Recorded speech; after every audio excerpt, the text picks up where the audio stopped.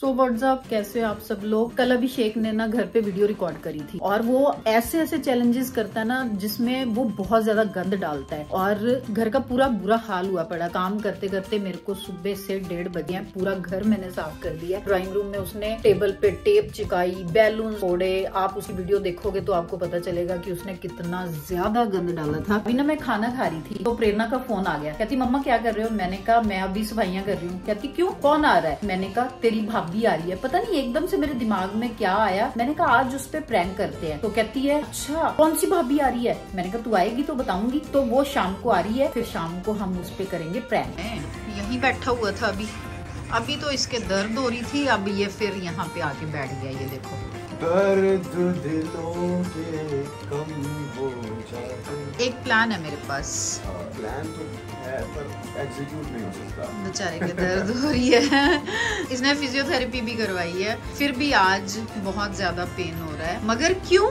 क्यों हो रहा है? दर्द हमारे इसलिए हो रहा है क्योंकि हमारे दिल में जख्म है। अरे पीठ में दर्द हो रही है बहुत ज़्यादा क्या बताएँ क्यों हो रही है? काम बताओ आप काम। अच्छा सुन पोलू आने वाली है। अच्छा बोल रही है वो आएगी नहीं। अरे उसका फ़ोन आया था। पिछली बार भी बोला था उसने मैं मैं बता रही हूँ ना उसका फ़ोन आया था और मेरे को पूछ रही क्या क्या कर रहे हो मम्मी? मैंने कहा जोरों शोरों से ना सफाइयाँ कर रही हूँ। कहती क्यों? कौन आ रहा है? मैंने कहा तेरी भाभी आ रही है। कहती क्या?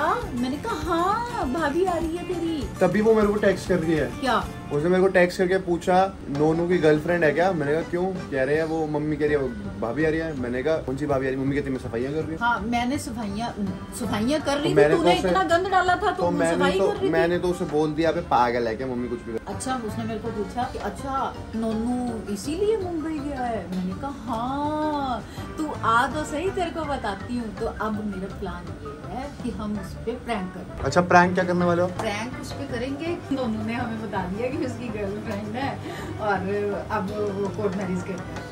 ऐसे करके कुछ प्रैंक करते मुझे तुम्हारा आइडिया बिल्कुल पसंद नहीं आया। रिजेक्ट ले क्यों भाई उसकी क्यूरियोसिटी बढ़। अगर आपका प्लान सक्सेसफुल हो गया ना तो मैं मान जाऊँगा। मैं नहीं मानता कभी सक्सेसफुल हो गया। ये कराएँगे ना सक्सेसफुल ये देख?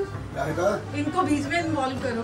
किसमें? पोलू को बेवकूफ़ बनाने में। बनाने में कि नोनू मुंबई क्यों गया है शादी करने गया है कोर्ट मैरिज करने गया है और साथ में लड्डुओं का डिब्बा रख देंगे आगे। तू ठीक है? तेरा दर्द ठीक है? हमने कहा ठीक रहना? दर्द ठीक है। दर्द है। कहाँ हो दिल में। बेल हो गई है मुझे लग रहा है प्रेरणा आ गई है फटाफट दरवाज़ा खोलते हैं और फिर करते हैं उस पे प्रैंक पधारे। आइए आपका इंतज़ार था। ये ना मम्मी को ब्लॉगर नहीं होना चाहिए। मतलब जब आओ घर में कैमरा लेके सामने स्वागत हो रहा होता है। सही है भाई सही है। ठीक है भाई ठीक है। आए, प्यार आ गया इसको मेरे पे।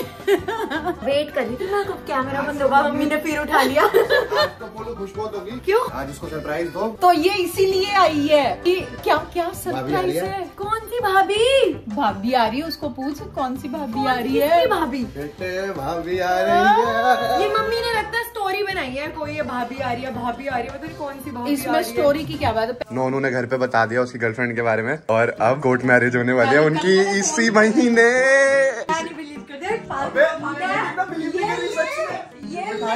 हो। रही। ओ, बल्ले बल्ले भाई की शादी में। ये क्या मज़ाक हो रहा है? ऐसी ना भाभी आ जाती है उठ के ऐसे नहीं आ जाती उठ के लानी पड़ती है। कहीं से भी आए तेरी आ रही है गुरुद्वारे से उठा रहे तू खुश रहना। मेरे को ना अब इतनी एक्साइटमेंट मत बनाओ बता दो सीधे तो पहले मुँह मीठा कर बधाई हो बधाई। भाभी आएगी अब तो। आप पोलू खुश है। लोग कहते हैं बच्चे उठाते थे लोग गुरुद्वारे से आज भाभी उठाए बता दो तो भाई कहानी क्या है? कहानी कुछ नहीं है। नोनू ने मम्मी पापा को मैसेज करा कि मेरी एक गर्लफ्रेंड है काजू कतली की जगह। अब मेरी गर्लफ्रेंड का नाम है रसगुल्ला। अच्छा, रसगुल्ला। लड्डू कुछ भी रख लो लड्डू। बर्फ़ी इज़ बेटर यार रसगुल्ले। वो तो नाम सबको पता चल जाएगा रसगुल्ला गर्लफ्रेंड है। रसगुल्ला रसगुल्ला is- और उससे उसको शादी करनी तो कोर्ट मैरिज कर रहे हैं अभी तो? अबे सच में? मुंबई। मुंबई में कोर्ट है ना? हाँ तो बस। हाँ वो करके आ रहा है। मम्मी के मम्मी का प्रैंक इतना प्रैंक है। मम्मी का इतना फालतू प्रैंक है। अरे बट मैं करके ही आएगा शादी। ऐसे एक सेकंड ठीक है? लेट्स मेरे बिना वो शादी कर ही नहीं मैं सकता। एक सेकंड मैं मैं कहता चलो मैं इनका इस प्रैंक में साथ देने को तैयार था पर मम्मी कह रही है शादी करके आएगा मुंबई से। और क्या पॉपकॉर्न करके आएगा? अरे कह रहे बस मैं उसने बोला कि बस, बस, बस। और जीजू कपल में वीडियोस बनाते हैं ना अब मेरे को भी कपल में घूमना है इसलिए मैं अब मुंबई से आऊँगा। अब मम्मी मम्मी का प्रैंक इतना फालतू प्रैंक है भाई गॉड डाले तो कोई साथ हो में, उसका कोई बुनियाद ही नहीं कोई कहानी नहीं है। कह रहे तेरी भाभी आ रही है गुरुद्वारे से उठा के लेके आया है मुंबई गया है शादी करके मेरा भाई मुझे बताए बिना ना मेरे मेरे डांस के बिना शादी नहीं कर सकता इसलिए मैं डिसएग्री करती हूँ और mummy I am so sorry you are very poor at prank अब इस, इस इसका टाइटल नहीं, नहीं, अभी नहीं नहीं starting है इसका इसका इसका टाइटल पता क्या होना चाहिए? प्रैंक हो गया fail I I think mummy needs classes from Fukra Insaan yes mummy yes yes तुमसे नहीं होने वाला। मैं आपकी शरण में हूँ गुरुजी। मुझे सिखाइए प्रैंक करना। मुझे माफ़ कर दे मुझे छुट्टी दे दे मुझे ऐसा स्टूडेंट चाहिए नहीं। Mummy better luck next time आप ना मेरी वीडियोस देखा करो। मैं हर्ष को कैसे तरह तरह से उल्लू बनाती हूँ उस पर आपको कोर्स करने की पूरी शिक्षा मिलेगी वहाँ पे। मुझे अपनी शरण में अगली बार और अच्छा करना। आपका एफर्ट बहुत कमेंडेबल था। पता है एक अभी क्या हुआ? मेरी एक फ्रेंड है हाँ, तो बताया था तूने। उसने मैसेज करा सबको नहीं बताना। मैंने कि कहती तू कैसा सा है? मैंने कहा क्यों? कहती घर के ड्रॉर में क्रैक्स कौन रखता है? कहा तेरे को कैसे पता? तू तो मेरे को जानती नहीं। कह रही है मम्मी के ब्लॉग देख लूँ तेरे। बड़ा इंटरेस्टिंग लॉर्ड मैं कहा भाई साहब ये ये सही सही सही सही चल रहा है भाई लो भाई सही है मम्मी लोगों को हमारे को जानना घर के में लूप चले सारे मेरे ब्लॉग में होते हैं। जिसको घर का सब कुछ जानना है ना वो डिम्पल्स किचन के ब्लॉग देखा करो। प्रेरणा और हर्ष आए हैं तो डिस्कशन वही हो रही है वॉर की रशिया यूक्रेन बस और कोई काम ही नहीं है इनको। ये है मेरा खाना हर्ष का खाना आ गया है। टेस्टी टेस्टी खाना। और डिस्कशन वही हो रही है तुम्हारी। रशिया यूक्रेन सब परेशान है। कब खत्म होगा कब क्या होगा? ये सारा दिन दोनों जने यही बातें करते हैं। आज तुम आए हो तो फिर वही डिस्कशन कोई और बात कर लो। और ये लड़की जब भी आती है घर पे हमेशा कहेगी बस मेरा तो हो गया मैं नहीं खाऊँगी अब। ये खाना मेरे मेरे हाथ का खाना खाती नहीं इसको पसंद ही नहीं आता। बोल रहे हो, बचपन से आपके हाथ का खा खा के बड़े हुए और अभी आप ऐसे ड्रामे कर रहे हो? हाँ बड़ी होगी ना इसीलिए तो अब खाती नहीं है। ये लड़की हमें मिलने आई थी करना। और जा रही है मूवी देखने। साढ़े मतलब दस बज गए सो जाओ पता है? सब लोग हाँ। सो जाते हैं साढ़े दस तो तू जल्दी आया कर ना नेक्स्ट टाइम वो next नहीं करता। बताओ आई थी हमें मिलने और जा रही है मूवी देखने। ये सिर्फ़ फॉर्मेलिटी करने आती है कि हम मिलने आए हैं आपको। एक ही चीज़ पसंद है वीडियो बनाना? सिर्फ़ वीडियो बनाना। मूवी देख रही हूँ मैं मूवी गंगू भाई। तेरी तरह नहीं हूँ दस दस बार वीडियो ही वीडियो बनाती पता हर्ष का बिल्कुल मन नहीं है और ये लड़की मैं जीजू से नाराज़ हूँ। मूवी तो ये लेके जा रही है पर। आप पिछली बार जब से आए हो वहाँ से घूम के आप एक मतलब घर नहीं आते और रुकते हो दस तो मिनट लिए चले गए। अरे तो तू कल आ जाइयो। कल आ चुका तू जाइयो। तो चल। स्टे कर लियो। रुकी। देखो बदतमीज।